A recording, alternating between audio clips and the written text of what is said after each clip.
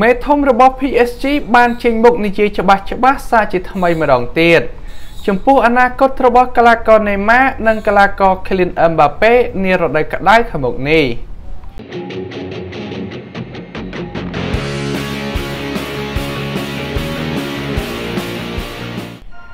នាយកផ្នែកកីឡារបស់ PSG បានធ្វើការច្រានចោលរកការរំពឹងទុកទាំងឡាយ តកតនទៅនឹងអនាគតរបស់កីឡាករណេម៉ានិងកីឡាករ Kylian Mbappe ដែលលើកឡើងថាអាចនឹងចាក់ចេញពីក្លឹបនារដូវក្តៅខាងមុខនេះគួរបញ្ជាក់ផងដែរថាខ្សែប្រយុទ្ធទាំងពីររូបនេះកំពុងតែស្ថិតនៅចំចំណុចកណ្ដាលពាក់ព័ន្ធទៅនឹងអនាគតរបស់ពួកគេដោយសារតែក្លឹបអ្នកមានបុណ្យបាសេឡូណានៅតែបន្តចង់បានកីឡាករណេម៉ាត្រឡប់ទៅវិញ ខណៈដែលក្រុមរៀលម៉ាឌ្រីតក៏កំពុងតែផ្សារភ្ជាប់ទំនាក់ទំនងយ៉ាងខ្លាំងជាមួយនឹងការចុះហត្ថលេខាជាមួយនឹងអឹមបាប៉េផងដែរប៉ុន្តែទោះបីជាយ៉ាងណានាយកផ្នែកកីឡារបស់ PSG បានចេញមុខធ្វើការបដិសេធទាំងស្រុងដោយនិយាយថាក្លឹបជាក់នៅបារាំងមួយនេះមិនមានគម្រោងអនុញ្ញាតឲ្យតារាកម្ពុជាទាំងពីររូបនេះចាក់ចេញនោះទេ ប៉ុន្តែប៉ុណ្ណោះគាត់ថែមទាំងបាននិយាយប្រាប់ទៅកាន់សារព័ត៌មានរបស់បារាំងថាគ្មានអ្វីដែលអាចប្រាប់យើងថាពួកគេនឹងចាក់ចេញនារដូវក្តៅនេះនោះទេ ពួកគេទាំងពីរគឺនៅមានរយៈពេល2ឆ្នាំទៀតនៅលើកិច្ចសន្យាបច្ចុប្បន្នជាមួយនឹងក្លឹបហើយយើងកំពុងតែគិតអំពីអ្វីដែលយើងអាចធ្វើបានបន្ទាប់ទៀតជាមួយនឹងពួកគេ យើងចង់ឈ្មោះទៅមុខជានិច្ច រូបលោកបានបន្តទៀតថាអឹមបាប៉េគឺជាអនាគតរបស់ PSG ហើយអ្វីដែលសំខាន់គឺយើងត្រូវតែផ្ដល់ជូនកងត្រាថ្មីទៅដល់គាត់ទៅតាមអ្វីដែលអាចធ្វើទៅបានហើយបើយើងក៏ឡែកទៅមើលកីឡាករ Lionel Messi និង Cristiano Ronaldo វិញពួកគេគឺមានវ័យ32ឆ្នាំនិង35ឆ្នាំទៅហើយប៉ុន្តែសម្រាប់ Neymar និង Mbappe ពួកគេទៅតែមានអាយុ28ឆ្នាំនិង21ឆ្នាំតែប៉ុណ្ណោះ ហើយពេលនេះពួកគេគឺនៅជាមួយយើង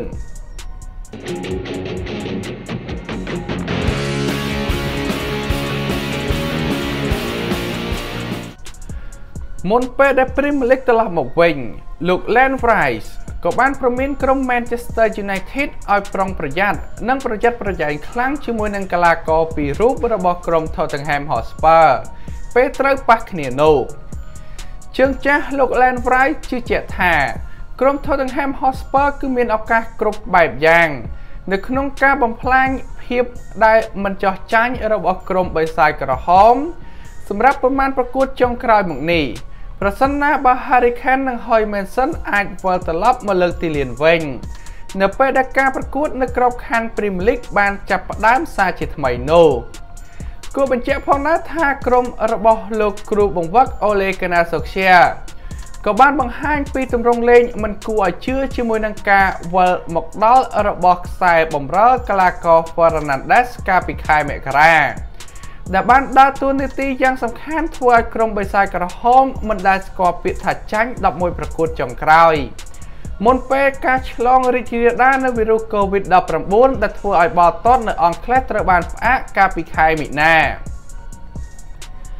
ប៉ុន្តែទោះបីជាយ៉ាងណាអតីតខ្សែប្រយុទ្ធរបស់ក្រុម Arsenal គឺលោក Len Bryce គិតថាក្រុមបិសាចក្រហមគួរតែមានក្តីបារម្ភចំពោះទេពកោសល្យរបស់ខ្សែប្រយុទ្ធរបស់ Tottenham Hotspur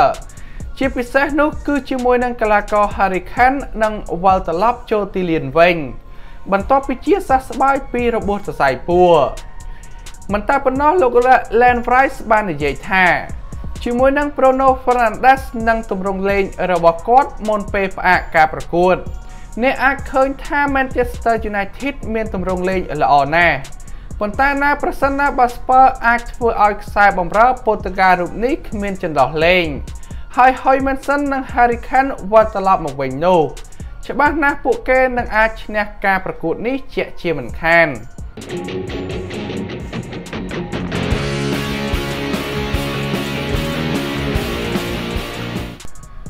ញែចាស់លោក Neville បានធីបចោលឈ្មោះវ៉ាន់ដៃហើយលើកឈ្មោះតារាឆ្នើមមួយរូបនេះវិញដែលស័ក្តិសមឈ្នះពានរង្វាន់កីឡាករល្អបំផុតរបស់ Liverpool អតីតជើងចាស់លោក Gary Neville បាននិយាយថា Alisson គឺស័ក្តិសមជាកីឡាករឆ្នាំប្រចាំឆ្នាំដោយសារតែរូបគេបានផ្លាស់ប្ដូរក្រុម Liverpool ច្រើនជាងកីឡាករ Virgil van Dijk ជាស្ដែង Nivelle បានចាត់ទុកអ្នកចាំទីដៃទី1សញ្ជាតិប្រេស៊ីលរូបនេះអាចយកទៅប្រៀបធៀបជាមួយនឹងអតីតកីឡាករគឺលោក Pitchels និងកីឡាករ Edin van der Sar ខណៈដែលគាត់បានបញ្ជាក់ទៀតថា Alisson គឺមានសារៈសំខាន់សម្រាប់ក្រុមហងក្រហម ជាងខ្សែការពារ Holland ពី Gil van Dijk ទៅទៀតមិនតែប៉ុណ្ណោះអតីតតារាឆ្នើមក្រុមបិសាយក្រហមរូបនេះបាននិយាយថា ខ្ញុំគិតថា Alisson បានធ្វើឲ្យ Liverpool អាចឈ្នះពានលីកហើយនៅពេលដែលមនុស្សជាច្រើននិយាយអំពីកីឡាករ Vigil van Dijk ខ្ញុំគិតថាក្រុមបិសាចក្រហមហាក់ដូចជាបាត់បង់ធាតុសំខាន់មួយប៉ុន្តែសម្រាប់ខ្ញុំម្នាក់នោះគឺជាកីឡាករ Alisson គេគឺជាកីឡាករម្នាក់ដែលមានអវ័យអវ័យគ្រប់គ្រាន់អាចឈ្នះពានរង្វាន់កីឡាករល្អបំផុតរបស់ Liverpool នារដូវកាលនេះបាន រូបលោកបានបន្តទៀតថាសម្រាប់ខ្ញុំវីគៀលវ៉ាន់ដាយគឺជាខ្សែការពារកណ្ដាលដ៏ល្អបំផុតមួយរូប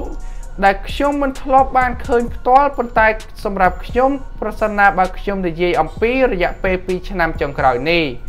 អ្វីដែលបានផ្លាស់ប្ដូរ Liverpool បានសម្រាប់ខ្ញុំគឺកីឡាករ Alisson Becker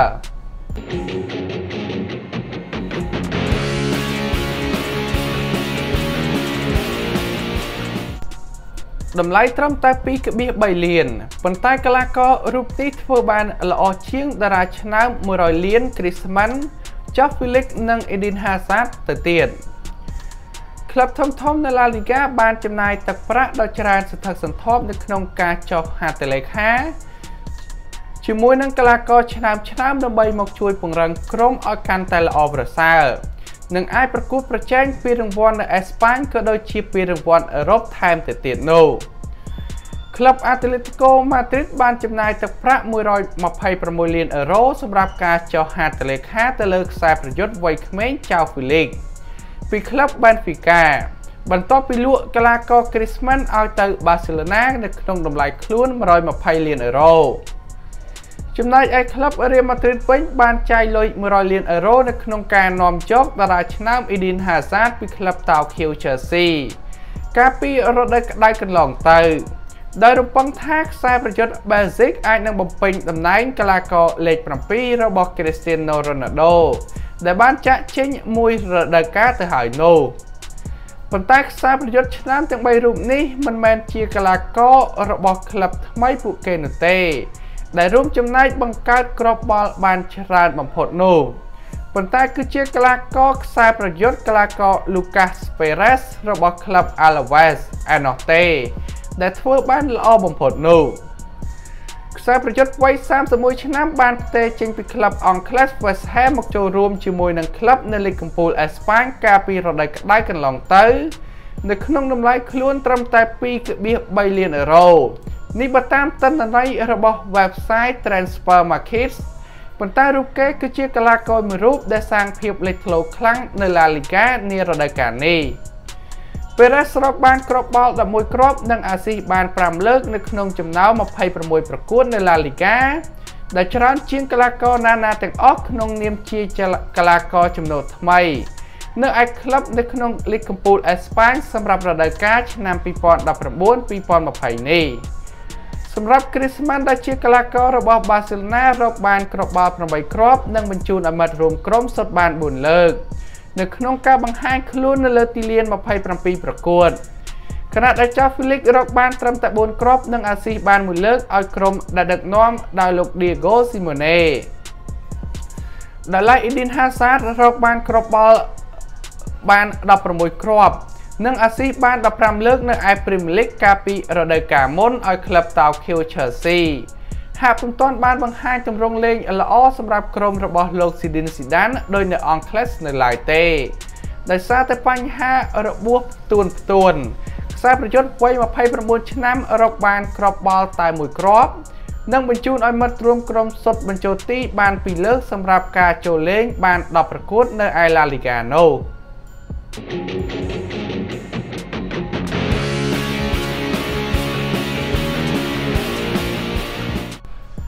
ក្លឹបធំមួយនៅ Premier League ត្រៀមចរចានាំយកកីឡាករ Silva ក្រោយក្លឹប PSG ប្រកាសបើកផ្លូវឲ្យចេញដោយគ្មានតម្លៃខ្លួនក្លឹប Everton ក៏បានបើកកិច្ចពិភាក្សាជាមួយនឹងខ្សែការពារជើងចាស់របស់ក្រុម PSG គឺកីឡាករ Thiago Silva រួចរាល់ហើយសម្រាប់ការផ្លាស់ប្ដូរដែលអាចទៅរួចមួយនារដូវក្តៅខាងមុខនេះគួរបញ្ជាក់ផងដែរថានាយកផ្នែករបស់កីឡារបស់ក្រុម PSG បានបញ្ជាក់យ៉ាងច្បាស់ថាកីឡាករសញ្ជាតិប្រេស៊ីលរូបនេះនឹងចាក់ចេញពីក្រុមនៅលីកអមួយនេះដោយគ្មានតម្លៃខ្លួនខណៈដែលកិច្ចសន្យារបស់គេបច្ចុប្បន្ននឹងត្រូវផុតកំណត់ នៅដំណាច់រដូវកាលនេះហើយយ៉ាងណាមិញបើយោងទៅតាមអ្នកជំនាញផ្នែកទីផ្សារក៏បានបញ្ជាក់ផងដែរថាអតីតកីឡាករអតីតក្លឹបរបស់ Silva គឺ AC Milan កំពុងតែបង្ហាញការចាប់អារម្មណ៍ខ្លាំងនៅក្នុងការចុះហត្ថលេខាឡើងវិញសម្រាប់កីឡាករខ្សែការពារដែលមានវ័យ35ឆ្នាំរូបនេះផងដែរមិនតែប៉ុណ្ណោះលោកក៏បានបញ្ជាក់បន្ថែមទៀតថា